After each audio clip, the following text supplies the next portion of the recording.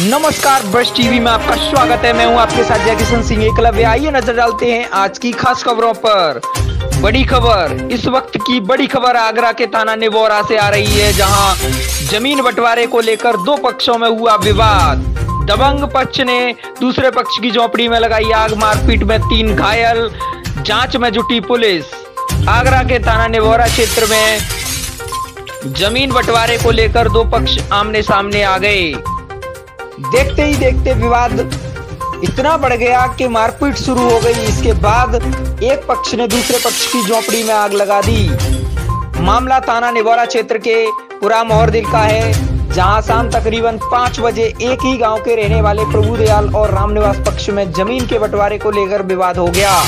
बताया जा रहा है कि रामनिवास के पूर्वजों ने प्रभु दयाल के पूर्वजों को गाँव में रहने के लिए ज़मीन दी थी।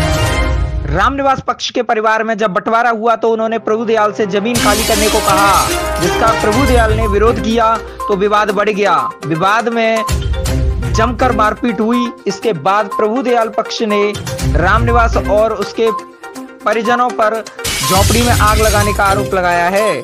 उधर झोपड़ी में आग लगने से गाँव में अफरा तफरी का माहौल बन गया। मारपीट में तीन लोग घायल हुए हैं। सूचना पर इलाका पुलिस भी मौके पर पहुँची।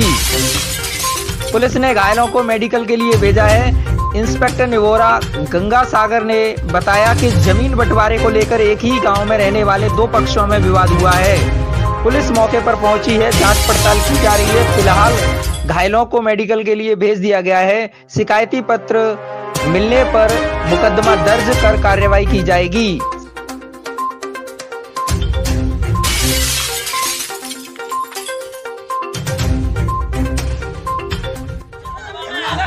ये बस उठा।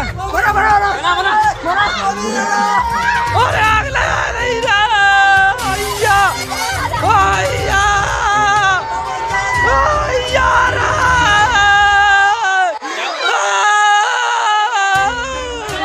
नहीं जाता